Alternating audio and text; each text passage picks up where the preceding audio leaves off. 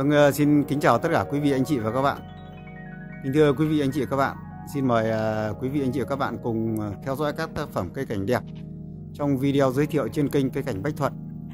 Hôm nay ekip làm phim chúng tôi đang có mặt ở nhà vườn của anh Nguyễn Văn Minh thuộc thôn Toàn Thắng, xã Bách Thuận, huyện Vũ Thư, tỉnh Thái Bình. Anh Minh là chủ tịch hội sinh vật cảnh của xã Bách Thuận anh ấy có niềm đam mê cây cảnh và gắn bó với nghề cây rất lâu năm. Và trong sân vườn của gia đình anh Minh thì có rất nhiều tác phẩm cây cảnh đẹp và bây giờ tôi sẽ giới thiệu đến quý vị anh chị các bạn những tác phẩm cây cảnh ở sân vườn của nhà vườn anh Minh. Thì à, trong à, phần đầu của video này, tôi sẽ giới thiệu đến à, quý vị và các bạn một tác phẩm khá lạ mắt đây tôi quay gần hơn, chậm hơn để các bạn xem nhé. Các bạn đã nhìn ra, tưởng tượng ra một cây gì chưa thực sự là cây này lúc đầu tôi mới vào tôi nhìn ngay cái thân nó, tôi tưởng là cây trực. Đáng trực nhưng không phải, khi nhìn lên ấy, hai cái đường tay và ngọn đánh vuốt lên ấy, thì à, định hình nó ra một cái bóng dáng cây khác các bạn đây là bóng dáng đôi cánh của con chim phượng các bạn này đây cánh bên à, tả bên hữu này. Đấy, đây là cánh của con chim phượng. Đây, đuôi mỏ thân, cuốn lượn, gọi là phượng vũ, như một con chim phượng đang múa. Đây, phần cánh nha các bạn nhé. Cánh của con chim phượng, gọi là phượng vũ bây giờ lại gần hơn với ờ, tác phẩm này các bạn nhé. Đây là một cây rất già mà nó có hai cái tay bên dưới này, hai bên dưới đường cuộn. Phát triển ra một tay thứ nhất này này, tạo thành một cái tay khoảnh khá đẹp. Bay sang bên và phía bên tay đối diện này, với đường cua ngược chiều nhau đấy, rất là khúc khỉu ồ kỳ đoạn này nhìn khá khó chịu, đúng không? Cái này là cũng phải bẻ gập từ ờ, giai đoạn nhỏ này. Cây già nứt đây và đổi màu rồi, chuyển sang màu ờ, vàng đồng.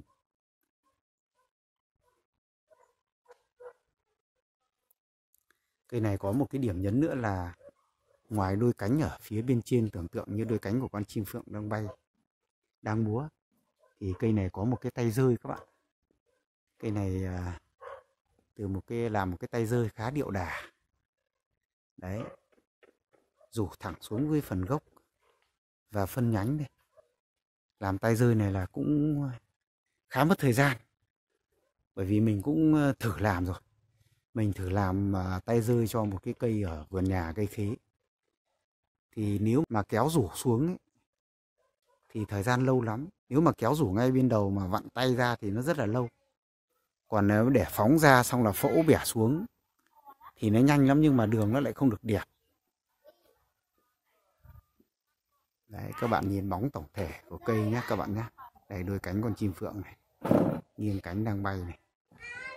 Đấy.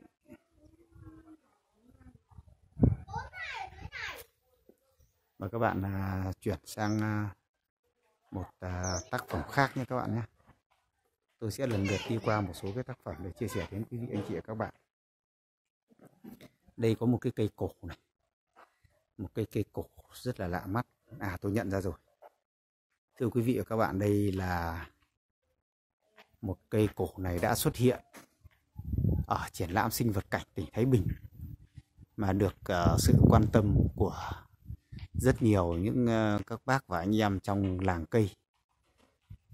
Cây này à, một cái điều thú vị là nó có một cái phần bệ rễ phần bệ rễ thân gốc, rất là cơm cây già thì đương nhiên là khỏi phải nói rồi, đúng không? Nhìn ra, nhìn thân này là các bạn biết này. Nhưng mà nó có những cái đường chuyển rất là thú vị đây đây phần rễ tôi quay qua phần bệ gốc rễ của nó này, bám đá này, một cây bám đá. Bám đá lâu năm. Đấy, cây bám đá lâu năm. Thì khi ờ, đây là cái mặt trái của tác phẩm. Giờ thì tôi sẽ chuyển sang cái phần mặt chính. Mặt chính của cây được các bạn này. Mặt chính của cây nhìn đoạn này. Bắt mắt luôn. Sần sùi, u biếu nhiều khối nhiều đoạn nhiều phần nu lên rồi. Đấy. nếu mà cây này mà đi lướt nhanh mà bỏ qua cái phần này thì thực sự là đáng tiếc. Đây đẹp lắm. Cây này khi xuất hiện ở triển lãm sinh vật cảnh tỉnh Thái Bình năm 2020 ấy, là các bác ờ, trong hội sinh vật cảnh tỉnh Thái Bình là khi đến ờ, xem cái ờ, gian trưng bày của hội sinh vật cảnh xã Bách Thuận thì rất chú ý với tác phẩm này. Và lúc đó thì tôi cũng là mới bắt đầu bước chân vào à, làm phim YouTube. Thì lúc đấy giờ thì tôi cũng có một cái cảm nhận rất là đặc biệt. Và vẫn còn ấn tượng đến tận bây giờ. Hôm nay à, đến thăm nhà vườn gặp lại cây này. Thấy nó thú vị. Tuyệt vời. Nếu mà đây là tôi lùi ra mấy bước này nhìn bóng của cây này các bạn này. Nhìn bóng của cây thì cái phần thân ấy, thần phần thân ấy nằm ghé và sát phần rễ trải dài và ôm sát lấy một cái khối đá lớn. Riêng phần này là tạo thành một cái hang động thành tạo thành một cái hang động. Đây toàn bộ phai cái phần rễ ở hai bên với phần thân bên trên tạo thành một cái cửa hang lớn. Và bên trong đó, vào bên trong đó là các thành vách của động đá. Như một cái hang đá thu nhỏ, cũng là thiên nhiên thu nhỏ. Thú vị thật. Đấy, như một cái hang. Như một hang động, thú vị thật. Cây già lắm, cây này cũng có thời gian lâu năm rồi còn thời gian bao nhiêu năm thì không biết các bạn tự đoán thôi. Đấy, những cái vết uh, cắt chuyển thân ngọn từ ngày xưa ấy là bo líp gần hết rồi. Đoạn này nu lên này đi nhìn đoạn này nu lên này. Đấy phần sùi. Rồi phủ bóng của cây nha các bạn nhé. Trong ờ, sân vườn của gia đình anh Minh thì ờ, có hàng ờ, chục các tác phẩm cây cảnh đẹp. Đây tôi ngó qua một cái cây phía bên này. Đây một cái cây mà tôi thấy cắt mà còn có bốn bông một ngọn nên thì nó là cái gì. Cái phần cái phần thân cốt của cây này khả năng xưa kia nó là một cái long. Sau đó là hóa ra để qua thời gian phần rễ này nó ngực cổ, nó ngảnh lên này. Đúng rồi. Phần tay này, tôi xem cái tay này. À thoáng qua bây giờ là tay đĩa các bạn bây giờ là tay đĩa nhưng mà trước đây là cũng có khoảng thời gian xé ra rồi. Xé ra rồi lại đưa vào đĩa. Đây, ngó qua cái phần chân móng, cây này thích nhất là phần chân móng.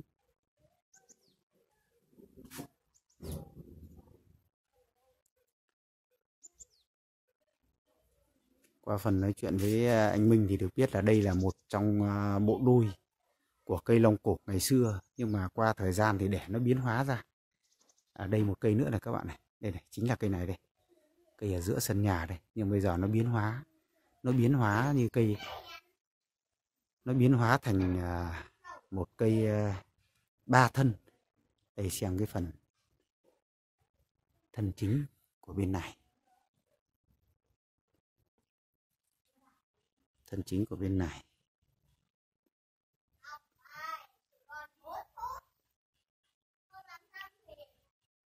Đây này đây này, cái cung long này này, các bạn này, các bạn nhìn cái cung long này, cung long trước này này. Sau đó là tay nó hóa ra, tay nó hóa xé lung tung ra. Dễ thì à, dễ thì trải dài rục xuống. Đấy, phần cái tần tay bên này, nó rủ xuống, tạo thành thành vách tạo thành thành vách. Và cây bây giờ nó biến rồi. Nó biến nó không còn cái cốt long ngày xưa nữa. Nó hóa rồi. Và nó tạo thành cây ba ngọn nhé đấy ba thân. Tạo thành ba thân. Như dáng phương đúng không? Bông tán này nhịp nhàng. Này là bác ờ, chủ vườn bác cái mới cắt tỉa cách đây tầm một khoảng như này thì chắc là độ khoảng à, nửa tháng. Chưa kịp nảy. Mới cắt thoáng thôi cắt sơ thôi chưa nảy.